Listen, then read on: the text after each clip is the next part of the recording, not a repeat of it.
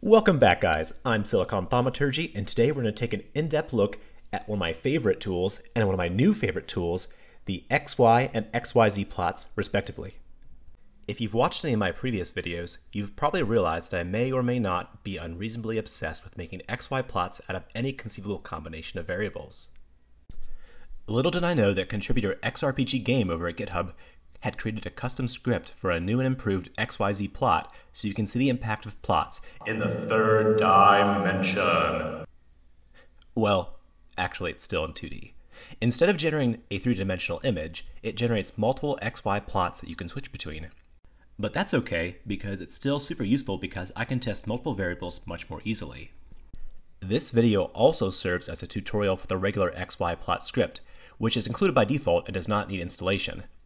If you want to use the XYZ script, you will have to install it. If you don't want to do this, just skip ahead to the bookmarks in the video description. From the Automatic 1111 homepage, navigate to the wiki, then to prompt scripts. Then scroll down to the XYZ plot script and click the link. Once there, navigate to Files, Go to the xyzplot.html file and then right-click to save as a raw file in the scripts directory in your Automatic 1111 WebGUI installation folder. Go back to the files and then select the xyzplot.py file and right-click the raw button to save this in your scripts directory as well. Once that is done, reload the UI in the Automatic 1111 interface. After that, your script will appear in the drop-down box in the image generation screen. Next, let's cover how to set up the XY plot in the Automatic 1111 WebGUI interface. First, scroll down to the bottom and click the Scripts dropdown.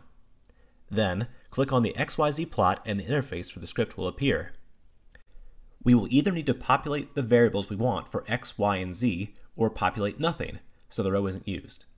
Before doing this, keep in mind where each variable will go in the output. Just like in standard math notation, the variable on the x-axis will be displayed horizontally, and the variable on the y-axis will be displayed vertically. Finally, each value of z will have a separate xy plot created for it. I can already hear you asking, how do I set the original xy plot? In return, I'd ask where your sense of adventure is. But in all seriousness, it is exactly the same, except that you select xy plot from the dropdown, and after you select it, there will only be two rows of variables to populate instead of three. Additionally, the default y value for the xy plot is nothing. Additionally, both of these scripts can be used in the image-to-image tab as well. On to the variables, and oh boy, there are a lot of them. I honestly haven't even touched some of these myself. Unfortunately, three of these variables, high-res upscale, styles, and VAE, are not available in the XYZ plot and only in the XY plot. A couple of these variables can only be used with the high-res fix or in the image-to-image -image tab. I made a table showing you some basic information about all the variables. Ones that I've tested myself are in bold. Availability is which plot type it works with, type is what kind of variable it is. Text is self-explanatory, integer means you can only use whole numbers, and continuous means you can use decimals. Let's move on to how to format these inputs and test exactly what you want. The first and most simple way to add inputs is just to separate them with commas.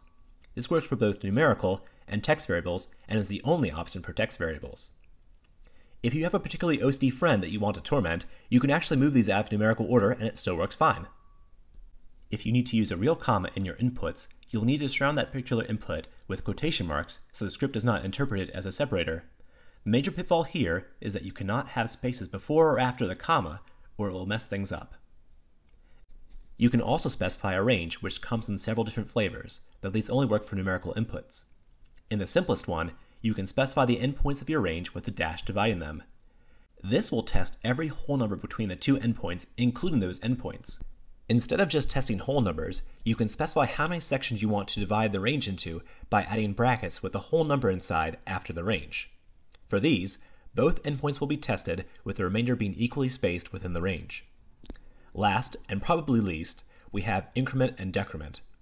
Instead of using brackets, use the parentheses, and the number inside can be either positive for incrementing or negative for decrementing, and can be either a whole number or a decimal. While executing this, it will start at the starting point of your range, and then increment or decrement until it goes outside the range you specified. When doing this, you have to make sure your range goes in the same direction as the increment or decrement. As you can imagine, this is pretty easy to mess up and not very intuitive. Next, we're going to cover how the XY plot and the XYZ plot show their outputs. For XY plots, this is quite simple. In your outputs folder in the Stable Diffusion directory, they will be saved to the text to image grids folder. For XYZ plots, it's a little bit trickier. In your outputs text to image folder, there will be a subfolder called XYZ. In there, each plot you run will have its own numbered subfolder. In each of these, there is a folder containing the raw images and an HTML file. To see the plot, you have to open the HTML file in your browser. Once it is open, use your mouse wheel to scroll between the different XY plots, symbolized by the green light in the upper left. The main downside to XYZ plot is that it doesn't save your grid as an image file. So if you want a picture of the grid, you'll have to take a screenshot, and that'll be limited by your monitor resolution. On the other hand, you can save images you like directly from here by right-clicking on them instead of having to dig through all the files. Finally, here are some tips and tricks I didn't cover elsewhere in the video. First, save your list if you think you might reuse them. I have a spreadsheet where I save most of my parameters for XYZ plots. That way, I'm not reinventing the wheel each time. This is particularly useful for stuff like samplers, where it's a pain to type it out every single time. You might be concerned that if you do all the work to set up an XYZ script, but want to do another generation that you lose it all. This is actually not the case. You can disable the script by selecting None in the script dropdown, do whatever you need to do, then reselect the XYZ plot. All the stuff you populated will still be there. This also works for other scripts. In fact, you can have settings populated for each script simultaneously. However, this will not apply if you restart Stable Diffusion or refresh the automatic 1111 WebGUI interface. When using batch count or batch sizes above 1, each cell on the grid will contain each of the images created under that specific condition. However, this will also create many small grids for each condition in your text-to-image grids folder. If you only use a few values for your x and y axis, it makes the grid with the full 512 by 512 images. Under the default settings, the maximum dimension of these grids is limited to 4000 pixels. So once you get to 7 by 7 or equivalent, it'll start shrinking down your images to put them in the grid. If you want to create grids bigger than 4000 pixels, you have to go into the settings under the tab for Saving Images slash Grids and deselect the setting causing it to downscale, as pictured here. And at last, we're finally done.